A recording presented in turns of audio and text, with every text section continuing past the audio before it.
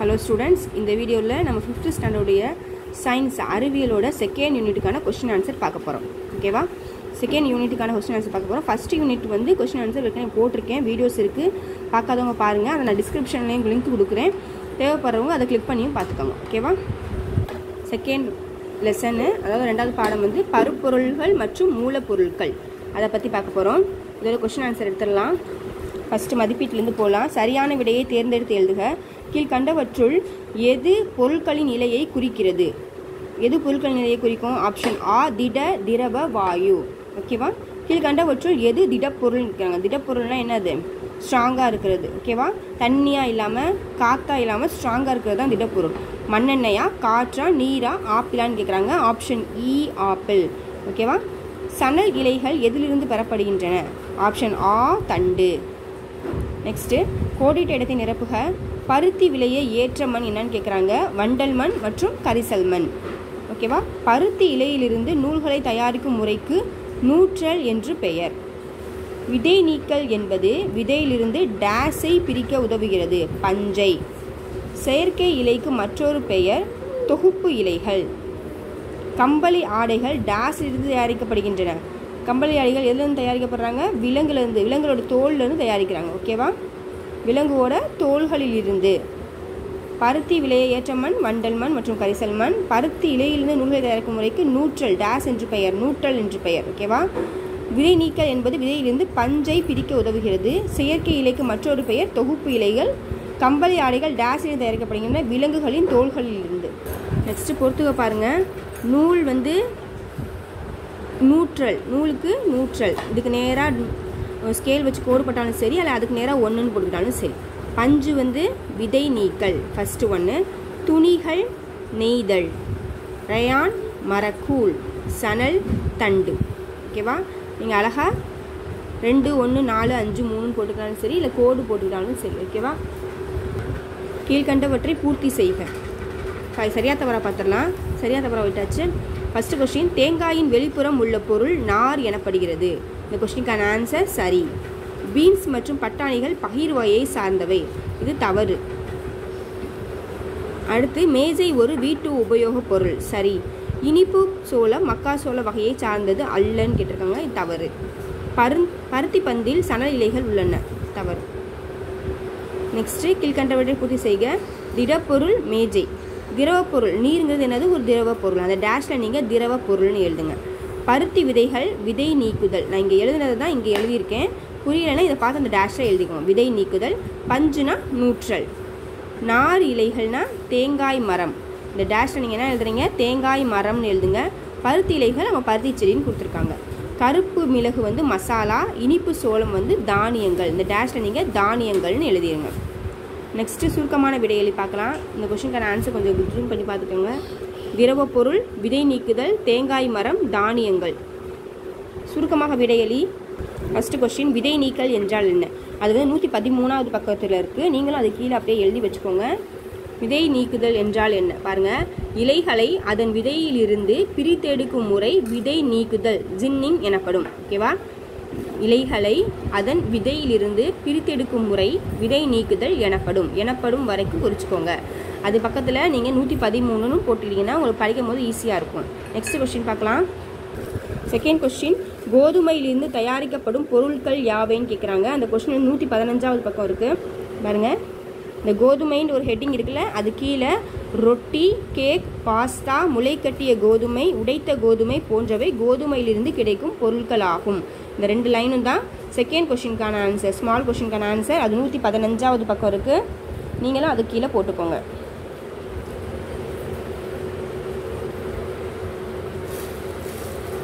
Third question செயற்கை இலை என்றால் என்னன்னு கேட்டிருக்காங்க. அது நூற்றி பதினாலாவது பக்கம் இருக்குது தேர்ட் கொஸ்டின் நூற்றி பதினாலாவது பக்கம் ஹெட்டிங் பாருங்கள் செயற்கை இலைகள் மற்றும் மனிதனால் உருவாக்கப்பட்ட இலைகள்னு ஹெட்டிங் இருக்கும்.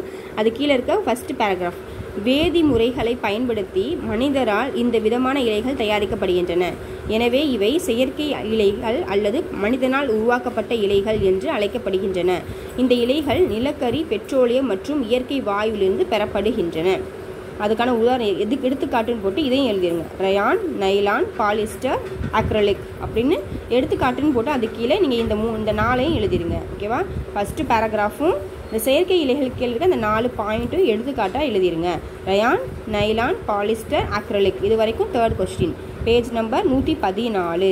அதுக்கு நேராக நூற்றி பதினாலுன்னு போட்டுக்கோங்க. நெக்ஸ்ட்டு பாருங்கள் மேல்நோக்கு விசை என்றால் என்னன்னு கேட்டிருக்காங்க. அது நூற்றி பதினேழாவது பக்கம் இருக்குது மேல்நோக்கு விசை.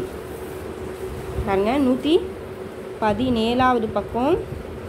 ஹெட்டிங் வந்து மிதத்தல் மற்றும் மூழ்குதலுக்கு உள்ளே இருக்குது. ஃபோர்த்து கொஸ்டின் ஒரு பொருள் அதாவது ஒன் டூ த்ரீ தேர்ட் லைன்லேருந்து ஒரு பொருள் நீரில் மூழ்கும் போது நீரானது மேல் விசையால் வெளியேற்றப்படுகிறது.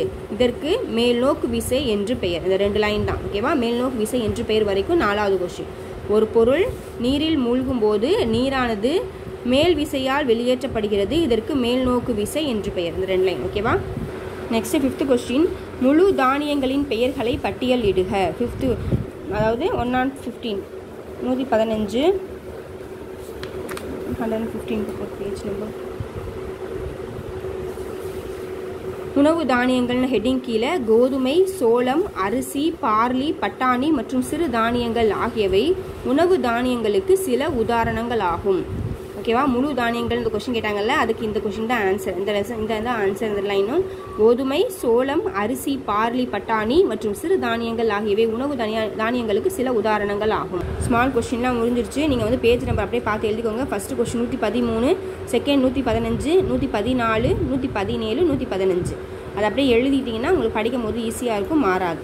நெக்ஸ்ட்டு விரிவாக விடையளி இதை வந்து நான் குறிக்கிறதுக்கு நான் வந்து பிக் கொஷினுக்கு பின்னு குறிச்சிருக்கேன். ஓகேவா இந்த இது குறிக்கிறதுக்கு பி ஒன்னுன்னு குறிச்சிருக்கேன். அதுதான் கொஞ்சம் டிஃப்ரென்ஸ் ஆகும். ஏன்னா வந்து நம்ம எல்லாமே ரெண்டு எல்லாமே ஒன்று ரெண்டு இருக்கு நம்பர்ஸ் படி போட்டிருந்தோம்னா நல்லா இருந்திருக்கும். ஒன்று ரெண்டுன்னு கொடுத்துருக்கனால நம்ம வந்து நம்ம தான் நம்மளை டிஃபர் பண்ணிக்கணும். அதுக்கு நீங்கள் பக்கத்தில் வந்து பேஜ் நம்பர் போட்டிங்கன்னா இன்னும் கொஞ்சம் ஈஸியாக இருக்கும். ஃபஸ்ட்டு விரிவாக விளைவெளி பொருட்களின் மூன்று நிலைகளை விளக்குக. நூற்றி பதினொன்றுலேருந்து நூற்றி பன்னெண்டு வரைக்கும் இருக்குது. பொருட்களின் மூன்று நிலைகளை விழிக்க நூற்றி பதினொன்றாவது பக்கம் எடுத்துக்கோங்க. பாருங்கள் பொருட்களின் நிலைகள் இருக்குல்ல அது கீழே இருக்க கொஞ்சம் பேராகிராஃபு அப்படியே கொஞ்சம் கொஞ்சமாக வரும். அது ஃபஸ்ட் பிக் கொஸ்டின் இல்லையா? நிறை மற்றும் இடத்தை அழைத்து கொள்ளும் தன்மையை பெற்றுள்ள பொருள் பருப்பொருள் எனப்படும். பருப்பொருள்கள் மூன்று இயற்பியல் நிலைகளில் காணப்படுகின்றன. அவை திடப்பொருள் திரவப்பொருள் மற்றும் வாயு பொருள் இது வரைக்கும் ஓகேவா நெக்ஸ்ட்டு ஹெட்டிங் வந்து திடப்பொருள்னு போட்டுட்டு திடப்பொருளில் உள்ள பொருட்கள் மிக நெருக்கமாக அமைந்துள்ளன. இவற்றை அழுத்த முடியாது. இவை குறிப்பிடத்தக்க உருவம் வடிவம் மற்றும் கனவளவை பெற்றிருக்கும். எடுத்துக்காட்டு மேஜை புத்தகம் மெட்டல். ஓகேவா இதுவும் வரும் இங்கே இங்கே ஒன்று பின்னு போட்டிருக்கேன் பார்த்தீங்களா இதுதான் ஒன்று பி தான் ஃபஸ்ட்டு பிக் கொஸ்டின் அர்த்தம். திரவம் பாருங்கள் திரவங்களில் மூலக்கூறுகள் தளர்வாக இடைவெளி விட்டு பிணைக்கப்பட்டிருக்கும். எனவே திரவங்களை சிறிதளவு அ- சிறிதளவே அள்ளலாம் சிறிதளவே அழுத்தலாம் சாரி இவை குறிப்பிட்ட கன அளவை பெற்றிருக்கும். ஆனால் குறிப்பிட்ட வடிவம் மற்றும் உருவத்தை பெற்றிருக்காது. எடுத்துக்காட்டு இந்த எடுத்துக்காட்டும் நீங்கள் எழுதணும். நீர் பால் பெட்ரோல். இதை எடுத்துக்காட்டும் நீங்கள் எழுதணும். அதுக்கு தான் பக்கத்தில் எடுத்துக்காட்டுன்னு எழுதி வச்சுருக்கேன். நெக்ஸ்ட் இந்த பேராகிராஃபும் வரும். நெக்ஸ்ட்டு நூற்றி பன்னெண்டாவது பக்கம். அப்படியே மேலே பாருங்கள் வாயு. வாயுக்களில் மூலக்கூறுகள் மிகவும் தளர்வாக பிணைக்கப்பட்டுள்ளன. எனவே வாயுக்களை எளிதில் அழுத்தலாம். இதுவும் வரும். எடுத்துக்காட்டு காற்று ஆக்சிஜன். இது வரைக்கும் ஃபர்ஸ்ட் பிக் கொஸ்டின் ஓகேவா இது வரைக்கும் ஃபர்ஸ்ட் பிக் கொஸ்டின் அதனால நான் நூற்றி பதினொன்றுலேருந்து நூற்றி பன்னெண்டு வரைக்கும் அந்த கொஸ்டின் வரும்னு நான் போட்டிருக்கேன். நெக்ஸ்ட்டு பருத்தி பந்திலிருந்து துணிகளை உருவாக்கும் முறைகளை விளக்குகன்னு கொடுத்துருக்காங்க. அது நூற்றி பதிமூணாவது பக்கம் இருக்கும். செகண்ட் பிக் கொஸ்டின் நூற்றி பதிமூணு. இங்க பாருங்கள் இந்த இந்த ஃப்ளோ சார்ட் இருக்குல்ல இந்த ஒரு சார்ட் மாதிரி இருக்குல்ல இதுதான் வந்து பருத்தி பந்திலிருந்து கருத்துணியை பிரித்தடிக்கும் முறை ஓகேவா நூற்றி பதிமூணாவது பக்கத்தில் இருக்க ஃப்ளோ சார்ட் இந்த சார்ட் பருத்தி பந்துகள் விதை நீக்குதல் பருத்தி இலைகள் பஞ்சு நூற்றல் நூல்கள் நெய்தல் பின்னுதல். திரும்ப இது ரெண்டு சேர்ந்து துணியாக மாறிடுது. ஓகேவா இதுதான் செகண்ட் பிக் கொஸ்டின் அதான் டூ பின்னு கொடுத்துருக்கேன். நெக்ஸ்ட்டு பாருங்கள் காரணம் கூறுகன்னு ஃபர்ஸ்ட் கொஷின் பாருங்கள் குடைகள் ஏன் செயற்கை துணிகள் கொண்டு உருவாக்கப்படுகின்றன? நம்மள்ட்ட கேட்குறாங்க இந்த கொஷினுக்கான ஆன்சர் புக்கில் இல்லை. நான் நோட்டில் எழுதியிருக்கேன். பார்த்துக்கோங்க குடைகள் ஏன் செயற்கை துணிகள் கொண்டு உருவாக்கப்படுகின்றன? ஆன்சர் பாருங்கள் காரணம் தருகிற ஃபஸ்ட்டு கொஸ்டின் குடைகள் ஏன் செயற்கை துணிகள் கொண்டு உருவாக்கப்படுகின்றன? குடைகள் பொதுவாக செயற்கை இலைகளை கொண்ட துணிகளால் தயாரிக்கப்படுகின்றன. ஏனென்றால் இயற்கை இலைகளை காட்டிலும் செயற்கை இலைகள் நீரை வெறுக்கும் திறன் அதிகம் கொண்டது. பொதுவாக நைலான் பாலிஸ்டர் ஆகிய இரண்டு செயற்கை இலைகள் தான் குடைகள் தயாரிக்க அதிகம் பயன்படுத்துகிறார்கள். செயற்கை இலைகள் நீரை உறிஞ்சும் தன்மை அற்றது. ஆதலால் தான் மழைக்காலங்களில் குடைகளை எடுத்து செல்ல உக உகந்தாக உள்ளது. ஓகேவா இது வரைக்கும் அந்த first B one big question ஒன்றுக்குடைய answer ஓகேவா இங்கேருந்து இது வரைக்கும் பார்த்துக்கோங்க. நெக்ஸ்ட் செகண்ட் கொஸ்டின் போகலாம் செகண்ட் கொஸ்டின் பாருங்கள் ஒரு பொருள் திரவத்தில் மூழ்குவதும் மிதப்பதும் எதனை சார்ந்ததுன்னு கேட்டிருக்காங்க. அது நூற்றி பதினேழாவது பக்கம் இருக்குது நூற்றி பதினேழாவது பக்கம் பாருங்கள் page number one one seven மிதத்தல் மற்றும் மூழ்குதல் ஹெட்டிங் கீழே இருக்க அந்த பேராகிராஃப் ஃபுல்லாகவுமே செகண்ட் பிக் கொஸ்டின் ஒன் ஓகேவா டூ பி ஒன் அதுதான் நான் டினோட் டிஃப்ரென்ஷியேட் பண்ணியிருக்கேன். நீங்கள் டூ பின்னு போட்டிங்கன்னா அந்த பருத்தி துளியிலேருந்து பஞ்சு தயாரிக்கும் போது இதுவும் கன்ஃபியூஸ் ஆயிரும். அதனால் நீங்கள் பேஜ் நம்பரும் போட்டுக்கோங்க இதையும் டிஃப்ரென்ஸாகவும் போட்டுக்கோங்க. சில பொருட்கள் நீரில் மிதப்பதையும் சில பொருட்கள் நீரில் மூழ்குவதையும் நீங்கள் காண் பார்த்திருப்பீர்கள். ஒரு பொருள் மூழ்குவதும் மிதப்பதும் அப்பொருளின் அடர்த்தியால் தீர்மானிக்கப்படுகிறது. ஒரு பொருள் நீரில் மூழ்கும் போது நீரானது மேல் நோக்கு விசையால் மேல் விசையால் வெளியேற்றப்படுகிறது. இதை மேல்நோக்கு விசை என்று பெயர். இது நீரில் கா நீரில் காலியான புட்டியும் நாணயத்தையும் போடும் பொழுது என்ன நிகழ்கிறது? நாணயத்தின் அடர்த்தி மேல்நோக்கு விசையை விட அதிகம் என்பதால் நாணயமானது நீரில் மூழ்கிறது. ஆனால் காலியான புட்டியின் அடர்த்தி மேல்நோக்கு விசையை விட குறைவு என்பதால் அது நீரில் மிதக்கிறது. இது வரைக்கும் second big question okay students நான் எல்லா பிக் கொஸ்டினும் எல்லா கொஸ்டினும் கவர் பண்ணிட்டேன். நான் பேஜ் நம்பரும் போட்டிருக்கேன். நீங்கள் அதே மாதிரி போட்டுக்கோங்க. செகண்ட் தேர்டு செகண்ட் லெசன் இதில் இந்த வீடியோவில் முடிஞ்சு தேர்ட் லெசன் வந்து நெக்ஸ்ட் வீடியோவில் பார்க்கலாம். என்னோட வீடியோஸ் பிடிச்சிருந்துச்சுன்னா மறக்காமல் என் சேனல் சப்ஸ்கிரைப் பண்ணி அதுக்கு ஒரு லைக் கொடுங்க. எந்த டவுட்னாலும் கமெண்ட் செக்ஷனில் சொல்லுங்கள் உங்கள் ஃப்ரெண்ட்ஸோட ஷேர் பண்ணி வைங்க வீடியோ பார்த்துக்கு நன்றி. தேங்க்யூ